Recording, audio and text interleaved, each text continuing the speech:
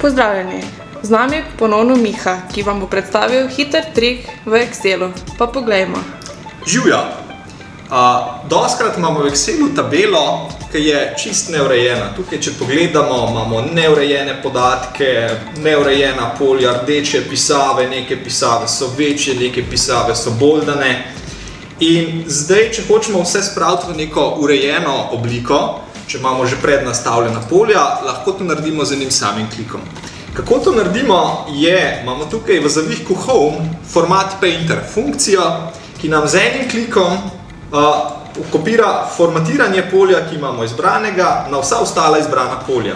In vidimo, z enim trikom sem celotno tabelo spravil v lepo formatirano obliko, vse pisave na enem koncu, ista pisava, ista velikost. Če ti je pa to prelahko, si pa vabljen na delavnico Excela 2, kjer bomo pogledali malo bolj zahtevne funkcije v Excelu.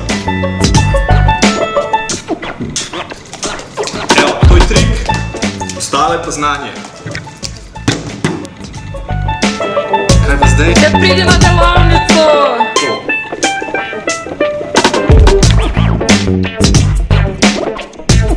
Thank